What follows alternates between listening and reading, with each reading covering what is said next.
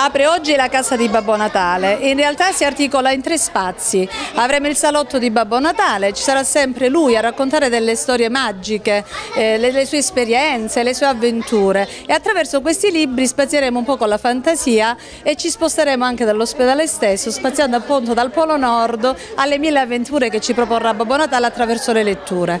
Ci sarà il laboratorio degli elfi, eh, prepareranno oggettini natalizi o regalini da portare poi ai loro cari e, e all'angolo delle letterine. Allora, come consuetudine per i bambini si scrivono le letterine di Babbo Natale, allora abbiamo pensato di portare questa iniziativa anche qui, in un ambiente quasi lontano no? dall'aria dall natalizia, dall'aria della festa. Queste letterine saranno poi imbucate presso un centro postale e arriveranno poi a Poste Italiane perché da tanti anni ha un'iniziativa in corso, raccoglie le letterine e poi li smissa attraverso appunto gli operatori degli uffici postali e li eh, porta da loro un regalino da un regalino eh, simbolico dell'iniziativa Babbo Natale.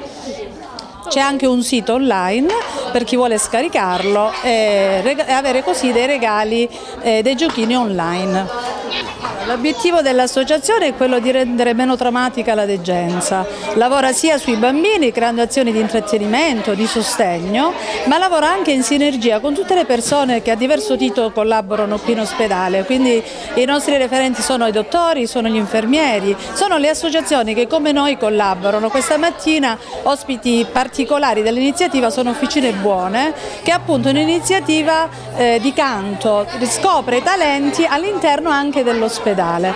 Tutto questo perché? Per rendere il posto giocoso a misura di bambina, perché secondo noi prima ancora di curare è necessario accogliere il bambino in quanto bambino al di là del disagio della malattia che si trova a vivere in questo momento che speriamo sia solo un momento transitorio della sua vita. L'associazione poi prende in carico questi bambini e eh, attraverso una rete che ha costituito da un paio d'anni offre sostegno e aiuto eh, per, per bisogni diversi, al di là anche dell'ospedalizzazione, quindi dal sostegno materiale al sostegno psicologico attraverso delle figure specializzate che le sette associazioni mettono a disposizione.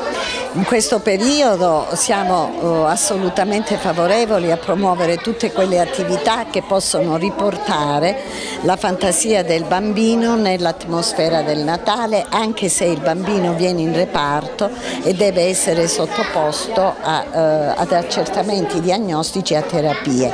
Vogliamo che il bambino continui ad avere sempre l'impressione che tutto quello che deve fare per la malattia non lo ha allontanato da quello che il momento più surreale non solo per gli adulti durante il periodo dell'anno ma soprattutto per i bambini che lo vivono certamente in maniera speciale. In questo senso proponiamo tutte le attività e lasciamo che vengano svolte tutte le attività che le varie associazioni, sia le associazioni ludiche sia le associazioni di volontariato, promuovono generalmente durante tutto l'anno, ma soprattutto in questo periodo avvalendosi di quelle che sono poi tutti ehm, gli ornamenti, tutto quello che accompagna eh, la, la festività del Natale in maniera particolare.